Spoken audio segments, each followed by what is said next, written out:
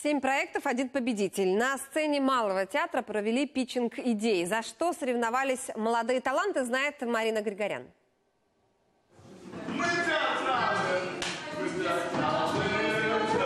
Репетиция в разгаре, прожекторы, музыкальные инструменты и деревянная сцена. Через несколько минут все это окажется на террасе, где каждый участник театрального питчинга будет доказывать жюри, что именно его проект достоин продолжения.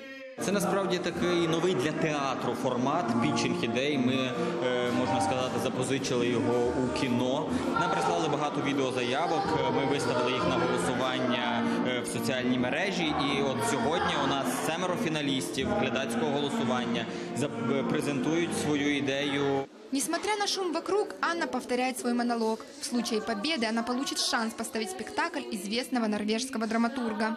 Постановка вистави Фіна Хавривола Ластівки літають низько. Це класична постановка для театру, для людей. Ця вистава також є в ній тема війни. Оценивать молодые таланты пришли независимые эксперты, художественные руководители киевских театров. Такие инициативы, говорят, поддерживают с удовольствием. Критерій один, щоб це було талановито. А інші критерії, які теж важливі, це актуальність, сучасність, потрібність глядачу. Я хочу е, постійно відчувати одну емоцію: ух ти, ух ти, ух ти.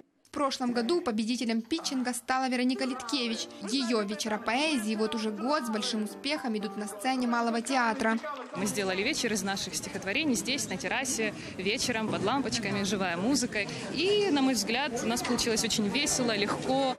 В этот раз по результатам голосования победил Андрей Гуцел с постановкой «Спектакль в полной темноте» о жизни незрячих. Уже в следующем сезоне этот проект можно будет увидеть на сцене Малого театра. Марина Григорян, Вадим Ревун. Подробности телеканал Интер.